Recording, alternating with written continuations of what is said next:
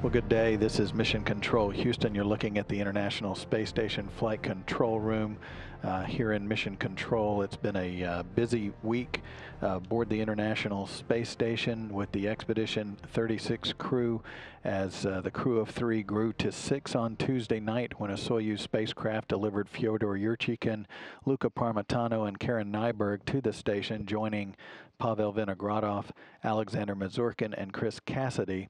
They've been aboard for 64 days now, with the newest three crew members enjoying their third day in space uh, here on this uh, Friday, May 31st. Uh, as the uh, crew members uh, made final preps for their newest crew members' arrival back on Tuesday, uh, those three launched on their Soyuz spacecraft at 3:31 p.m. Central Time on a fast-track six-hour four-orbit rendezvous arriving at 9:10 p.m. and after leak checks the crew became six with hatch opening at 11:14 followed by a welcome ceremony and greetings from family friends and program officials gathered at the launch site in Baikonur. The first few hours early Wednesday before going to bed included orientation and a safety briefing, followed by a day of rest to orient their body clocks back to the normal operating time aboard the station. The uh, Crew kicked off its first full workday as a six-person crew Thursday by unpacking cargo from uh, the ISS Progress 51 supply ship and their newly arrived Soyuz crew capsule, and then continued setting up the new uh, treadmill in the Russian segment of the station as well. Uh, crew members spent some time working with experiments uh, on board, particularly Chris Cassidy with the burning and suppression of solids or BASS experiment, studying the variety of solid materials and how they burn and extinguish in microgravity.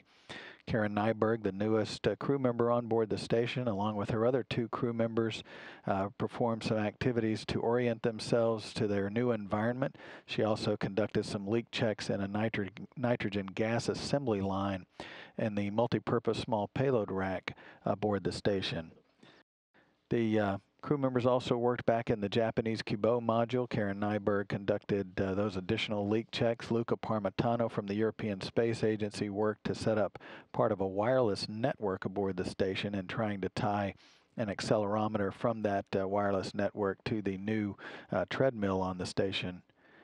The uh, commander of the station, Pavel Vinogradov, worked with a, an experiment known as the Kulanovsky crystal experiment, which gathers data about charged particles in the weightless environment of space.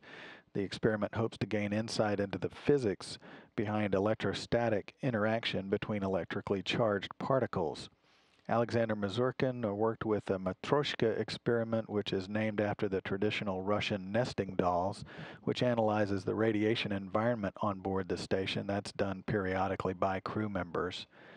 Newest crew member uh, on the Russian segment, Fyodor Yurchikhin, focused on transferring cargo from the Soyuz spacecraft in which he, Parmitano, and Nyberg arrived, and uh, also uh, spent some time orienting himself to the environment around the station as well. The crew members also uh, began their uh, uh, preparing for the arrival next week of an automated transfer vehicle from the European Space Agency that will deliver additional cargo to the crew.